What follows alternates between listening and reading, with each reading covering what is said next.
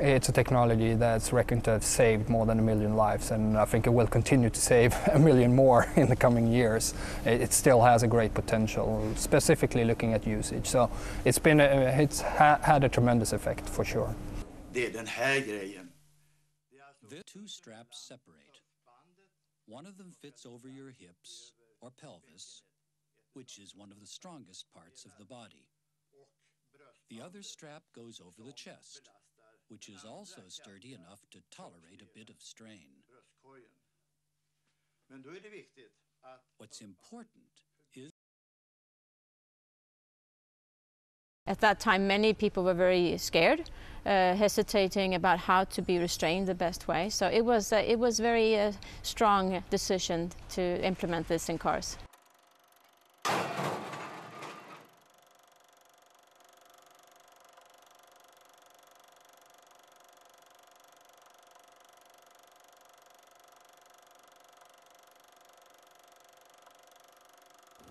Well, the seatbelt is the most important safety device fitted to any vehicle today.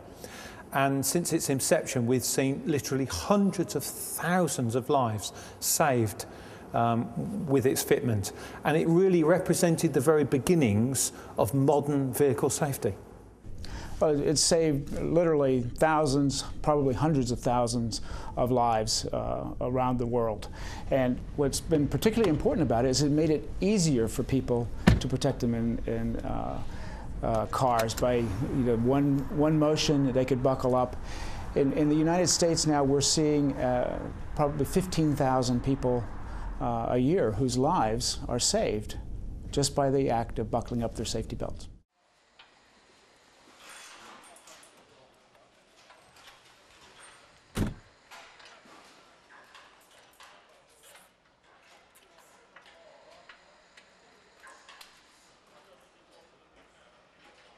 To get the message through, to, to convey the world that this is actually something good, was something that took a lot of effort uh, from Volvo and Nils Bohlin. They did a, a world tour demonstrating it, uh, they did stunts, they did all these tests, showed all this data, but it took uh, a number of years before uh, the general public and also uh, the different governments around the world were, were persuaded that this is really a good technology, this is something that we should uh, enforce, which happened during the 70s and 80s. So I think that's uh, a recognition that uh, the working process that Volvo established at that time, that's, that's giving effect.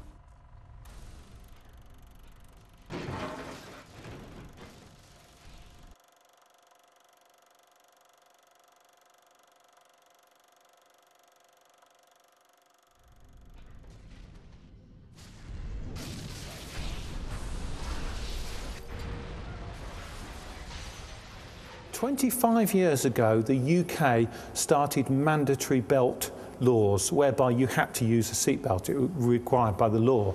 And since then, apparently 45,000 lives have been saved. And what we say in the UK is one life is saved every day by wearing a seatbelt.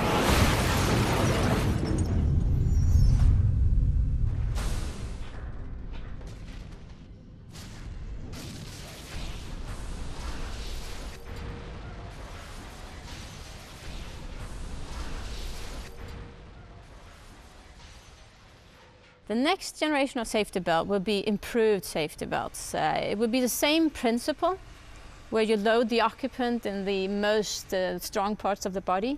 It will be more adaptive, adapted to the size of the occupant and uh, crash severity, and more user-friendly. Well, the use can be improved. We still have a, a substantial portion of uh, people in the U.S. who aren't uh, buckling up. And as a result, we believe that if we could get everybody buckled up, we could save another 5,000 lives a year.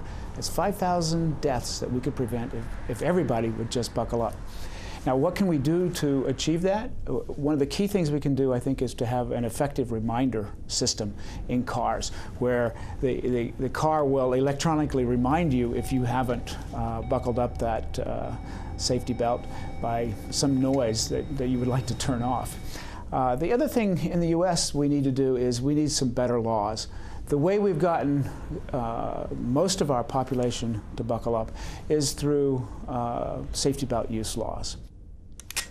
If you look at a three-point safety belt 50 years ago compared to a three-point safety belt today, it's a huge difference. The basic principles are still there. You can put it on using one hand. It has a good geometry. It's holding the upper body, the lower body. But if you look at the specific technologies with pre-tensioners, uh, load limiters, pre-prepared restraints, all of that, there's been a significant development of the safety belt and the restraint itself. And that era will continue. We've been looking at four-point belts, etc. But whatever we will do, we'll still have those basic principles that were established by Nils Bohlin in 58, 59.